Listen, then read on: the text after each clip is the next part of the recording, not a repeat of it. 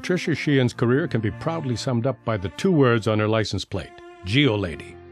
As one of the first women geologists in Canada to graduate from Carleton University in 1959, Pat has spent a lifetime working in and contributing to the mineral and mining industry.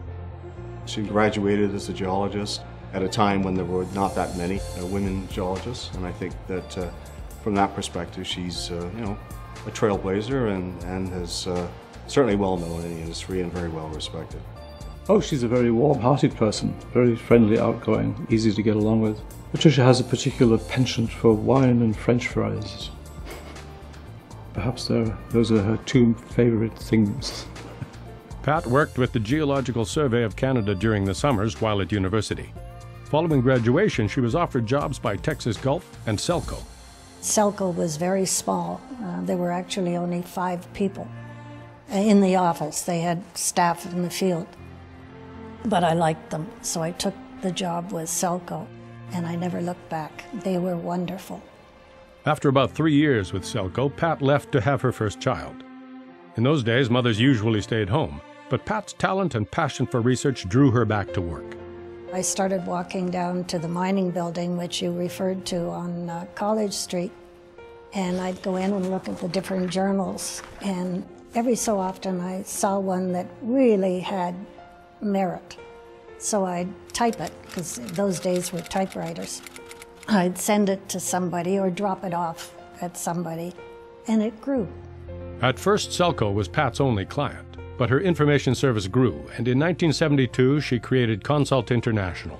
When she had her information gathering uh, service, uh, specifically on diamonds, so she was a bit of a sort of a human internet search engine, so to speak. At one point, I, you know, when I was sending out by mail ugh, and Xeroxing the copies, and sometimes they'd be 40 and 50 pages. I'm amazed at actually how she does this, how, how she did it anyway, uh, because previously you had to go to libraries and Xerox stuff, tables of contents. Now it's much easier because things are online. But uh, her initial perseverance was phenomenal. In 1999, Pat donated her life's work to the Mineral Deposit Research Unit's Literature Service at the University of British Columbia. It was two tons of material. And I know it was two tons because they had to pay the shipping costs. Pat has also been a pioneer in her volunteer work with industry organizations. She was one of the first female members of the Engineers Club of Ontario. So she was the first member and the first director and then the first president as a female in that organization which is very good. In the good old days, women went in the back door of any of these men's clubs, which was fine. Didn't bother me in the slightest. If I wanted to be in there, I didn't care which door I went in, as long as I got in. At PDAC, Pat has been a director and has served on several committees. She's been the key organizer of the convention's popular diamond sessions for the past 26 years.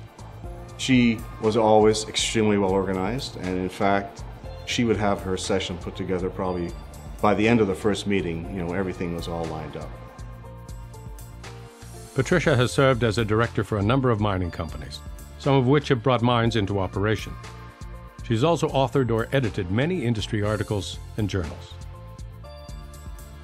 Following her nomination by PDAC, Pat became a recipient of the Queen's Diamond Jubilee Medal.